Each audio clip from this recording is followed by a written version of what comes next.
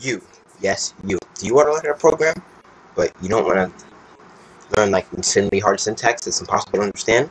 It's a waste of your life. Well, watch this video.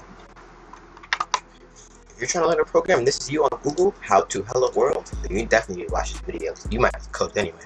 Watch.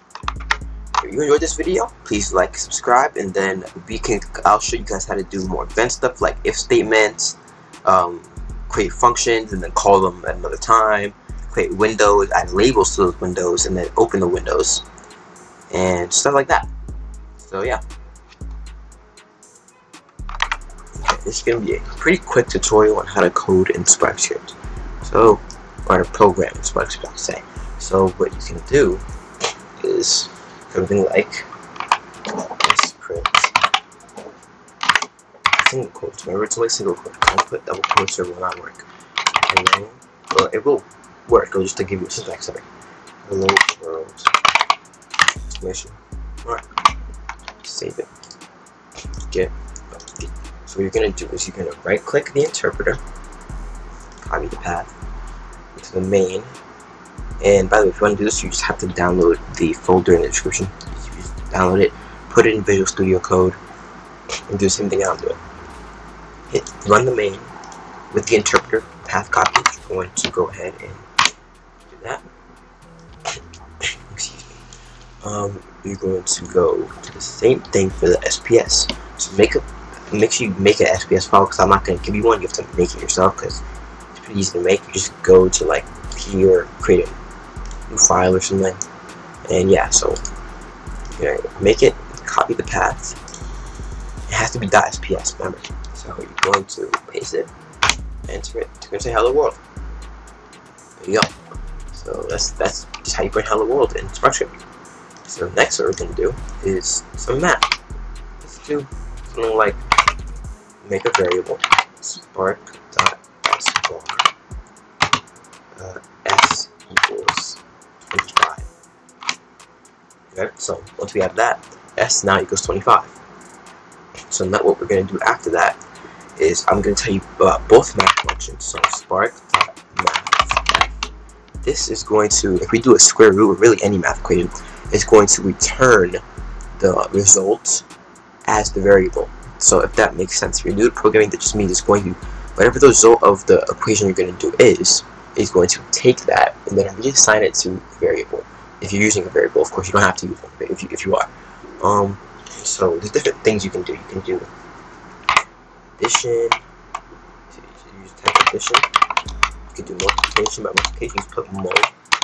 For division, you can do divide. And you, for subtraction, you can do subtract. Pretty simple. And for square root, it's sqrt.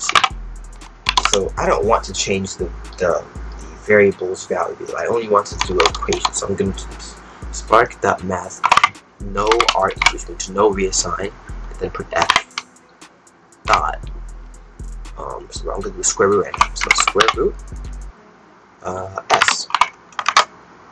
Then make sure you save it before running it. So if you don't save it before running, it's not gonna work because well the new things you put in there won't be saved. So you nothing to run. So then we're going to do spark dot s print print var s. What this is going to do is simply print a variable. So it's going to print s. It's going to print the value of s. The value of s won't change because I'm using a math no reassign uh, function here. So yeah, let's save that. And by the way, there are a lot more advanced things you can do in here. You can do stuff like in like my code scripting language. You can do things like create a window, put a label in the window, whatever the text is you want to say, make whatever um, font, font size, open the window. You can do stuff like run system commands. You can just like open browser tabs, open links. You can do things like you can do a good amount of things. You can do um yeah if statements as well. I probably won't get into that till next video because I don't want this to be a very long video. So we're just going to interpreter. Make sure you right click, copy path, main, run it, interpreter path. Sorry, interpreter path. We're going to do.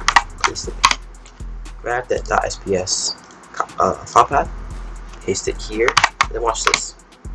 The uh, square root result is 5. And the s still equals 25.